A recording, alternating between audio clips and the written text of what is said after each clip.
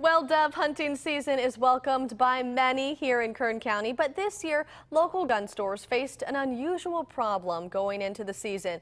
23 ABC's Christina Sverjaco joins us in the studio with how for the first time in decades, stores almost didn't have supplies for their customers. Christina? Amanda, the ammo shortage for the automatic and semi-automatic weapons started back in January when lawmakers were considering gun control legislation.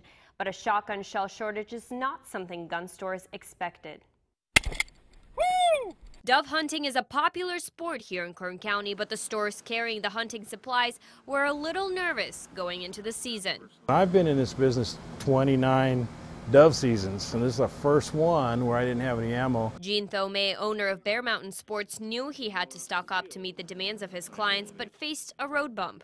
About three weeks ago, my supplier ran out, and I was in a panic because I wasn't able to get any ammo for dove season. Fortunately, just days before the start of the season, he got his pallets in. This would have been the first time ever I didn't have any ammo to sell for dove season. I've never seen it this way. While unexpected, the sudden shell shortage could be explained. This last fiscal year, there was such a surge in ammunition purchases, they have to revamp their production facilities in order to meet the demand of the consumer.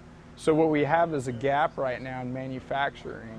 And because of the talk of potential shortage, business has been booming. There's been a constant stream of people coming in here because they found out we have ammo and they're just coming in and, and uh, they're not even asking the price.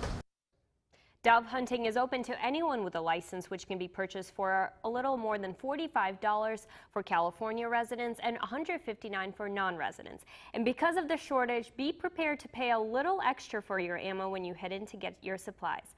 In the studio, Christina Sverjaco, 23 ABC.